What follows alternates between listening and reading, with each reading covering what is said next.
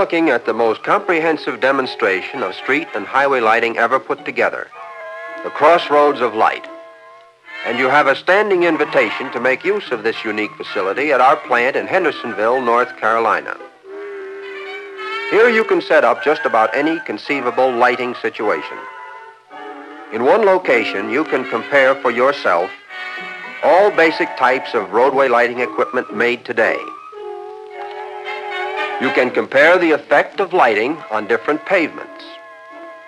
You can evaluate various methods of lighting every major street classification. The residential street, the white way, the main business street, the traffic street, and a highway section. You'd have to travel to at least 25 cities to make such a complete comparison as you can make here in less than one-third of a mile. But what you want to know is, how can all this help you? Well, on this $125,000 street and highway proving ground, we can duplicate nearly any lighting problem you may have in your community and show you several solutions. Say you are concerned with residential streets like this one, representing a considerable property investment on the part of the people who live here. Pleasant and attractive by day, it becomes a forbidding cavern of darkness at night. We can show you how that street would look with six different lighting systems. The old-fashioned radial wave units, called tin pie plates by some, but still in use on many of our streets.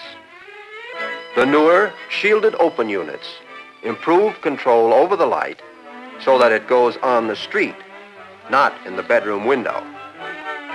Better yet, modern enclosed filament luminaires with refractors direct the light precisely in definite beam patterns, resulting in more uniform pavement brightness. Fluorescent units lend distinction and produce less glare, which means more comfortable seeing. Larger fluorescents give higher light levels, permit longer spacing. And even mercury luminaires, sometimes thought of only for highways or wider streets, are available for residential street lighting. We can show you a practical comparison like this for every one of the five major roadway classifications.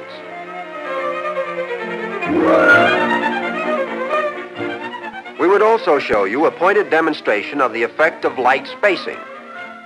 Here you're looking at fluorescents spaced at 150 feet staggered, such as might be applied on two-lane highways. 100 foot one side, typical of service roads and ramps. 75 foot opposite, an arrangement used on principal business streets to give prestige, attract more shoppers and 100 foot staggered recommended for six-lane expressways.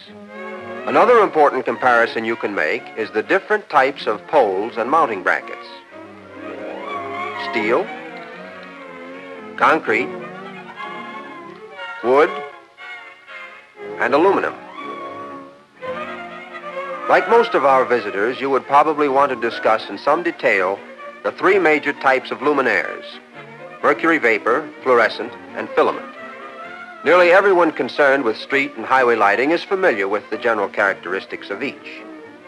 The mercury luminaire is small, which makes for easier installation. It offers high efficiency.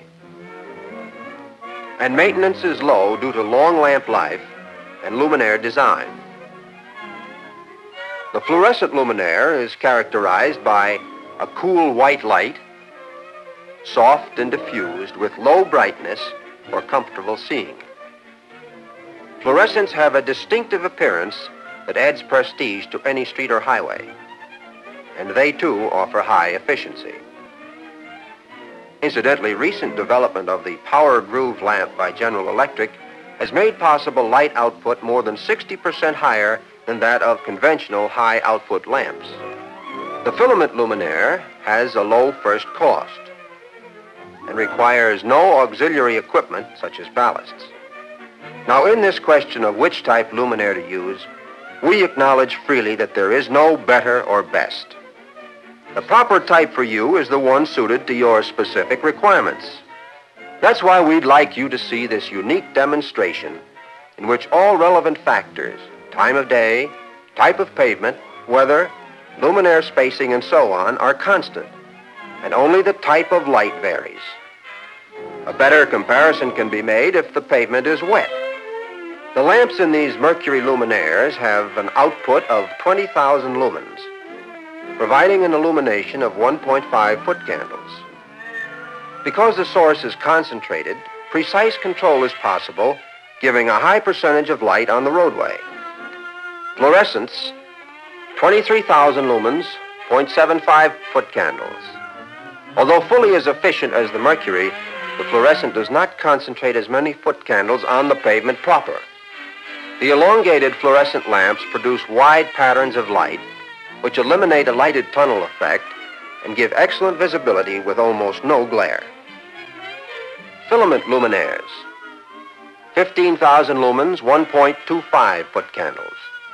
They offer a high degree of light control, making possible uniform pavement brightness. We cannot hope to cover here in a few minutes all the ramifications involved in selecting lighting equipment. And film, sensitive as it is, does not show the subtle differences apparent to the human eye. So we hope you'll come to the crossroads of light in person. Then we can set up just about any lighting situation you specify and give you answers you can evaluate with your own eyes. Safety is a word you'll hear repeatedly around the crossroads of light. We believe that proper lighting, especially in the areas of driver decision, could save nearly half of the 22,000 lives sacrificed annually in night accidents. Show you what we mean. Take a 40 mile an hour traffic zone. Add some pedestrians in a hurry to cross the roadway. Put in a truck to screen them. Now, the American Automobile Association says the minimum stopping distance for a car going at 40 miles per hour is 125 feet. Right about there. From the driver's seat, the pedestrians are easy enough to see during the day. Time to make the right decision and take appropriate action. But at night, the picture is different. With headlights on low beams for passing, you can barely make out those people at 125 feet. Just a fraction of a second lost in indecision can mean tragedy. If they wore light-colored clothing, as recommended by the National Safety Council, you could see them better. Human nature being what it is, though, most of them won't. You can't legislate clothing. Beyond bare minimums, that is.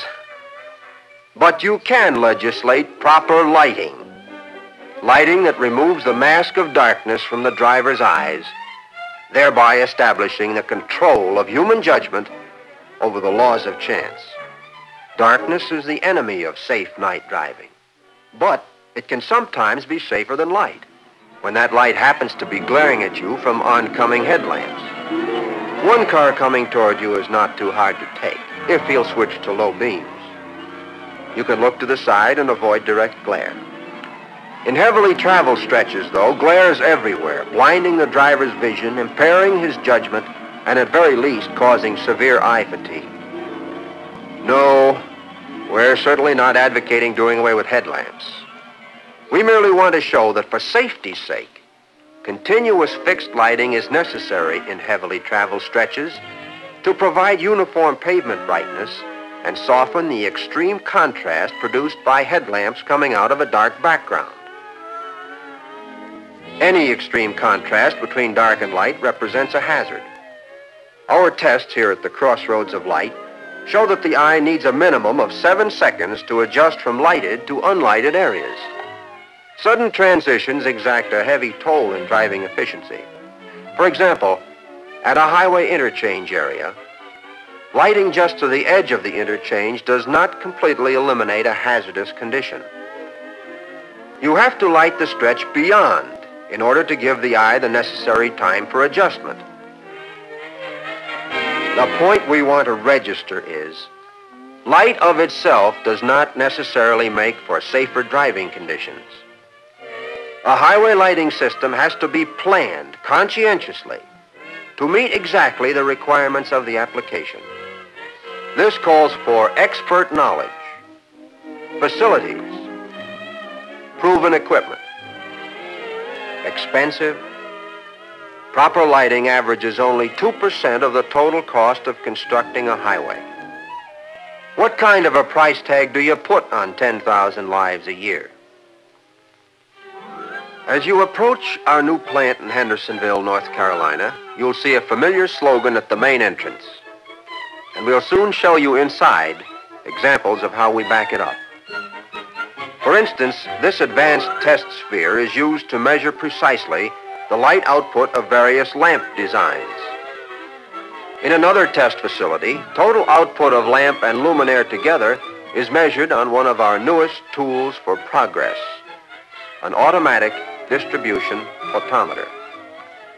The photometer is programmed to measure luminaire output at 600 different angles. Measurements go from the readout device to the master control programmer.